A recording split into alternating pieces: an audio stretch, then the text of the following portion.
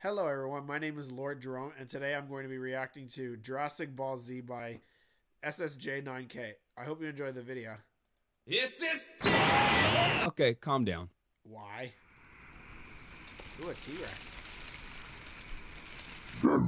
Return to Fantasia in Uh, ReFantasia.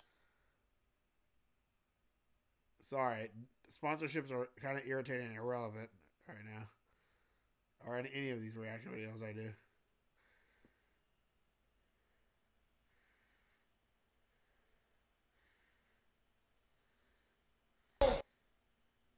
Okay, here we go. Oh, whoops.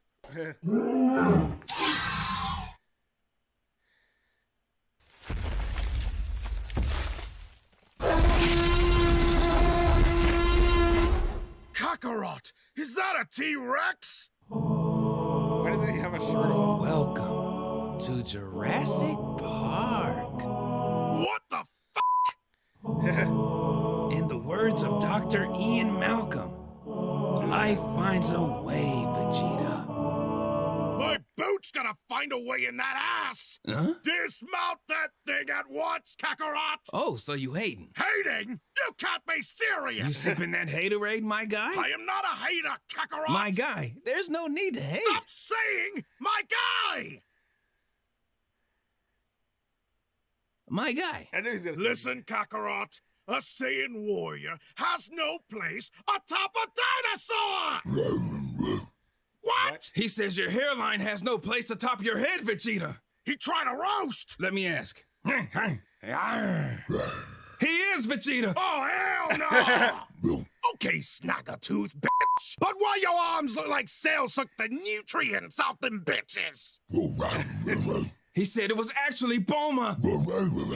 And she sucked nutrients from other places as well. Okay, but... She sucked his soul out, he said. All right, okay. And his raptor pals. His raptor pals! he said your the- next kill will be half T-Rex. Okay, enough! At least my race wasn't wiped out by a fucking asteroid! Vegeta!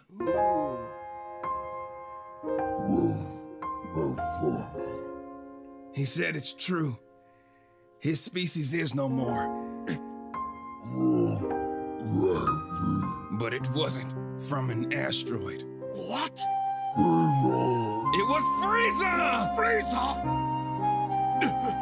He killed the Saiyans and the dinosaurs? What? what did he say, Kakarot? He said, It's okay. Because Bulma let the whole squad smash. Oh, brother. I don't really get what just happened, but that was actually kind of funny. Anyway, that was Jurassic Ball Z by SSJ9K. If you like the video, don't forget to like it, leave a like and a comment down below, and don't forget to subscribe to me and to SSJ9K.